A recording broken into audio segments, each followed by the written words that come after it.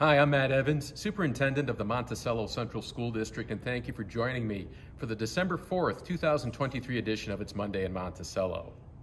I want to begin by uh, expressing my appreciation and gratitude uh, towards our students, staff, local law enforcement, uh, and our parents and community members uh, following the emergency evacuation that we conducted on Friday, December 1st.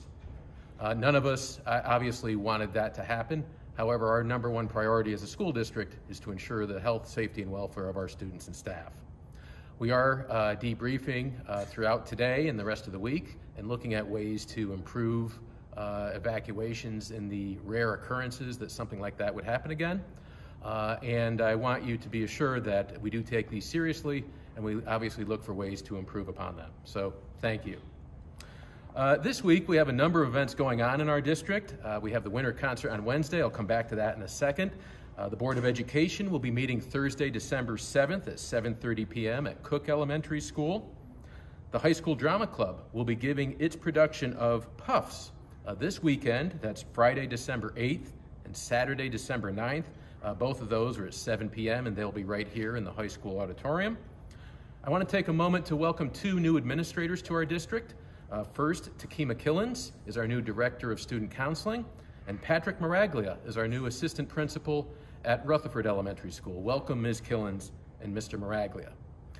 And now, uh, it's my pleasure to uh, introduce or reintroduce you to uh, Mr. Verdino, our high school band conductor, as well as the high school band, uh, who will be performing uh, this Wednesday night, December 6th at 7 p.m., along with the high school chorus and high school orchestra right here in the Hughes Auditorium. So, uh, Mr. Verdino, uh, thank you for all your work, and thank you, uh, band members, for your work. Talk to us about the concert and uh, what they'll be performing. All right, thank you, Dr. Evans. Um, on Wednesday, the high school concert band, the high school chorus, and orchestra are performing.